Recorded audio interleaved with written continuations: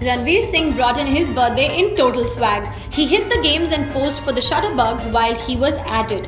Birthday boy could be seen having a ball at the Wales vs Portugal game last night. Rumor is that Ranveer and Deepika are together in Europe and will return to India on July 18. Meanwhile, Chote Nawab Ibrahim Ali Khan is living it up. Life is one big party for Saif and Amrita's young man.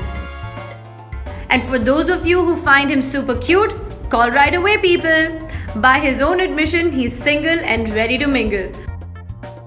Priyanka Chopra looks super fetch in this funky gown. The lady slipped into this stunning number for a party held in Delhi. This was just before she got back to Mumbai and flew out to the States to start work on the second season of Quantico.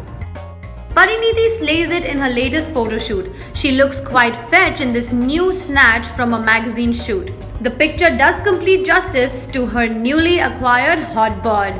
Meanwhile, Huma Qureshi and Bhumi Pednekar are living it up in Spain. The girls are making the most of their holiday and giving us some major vacation goals.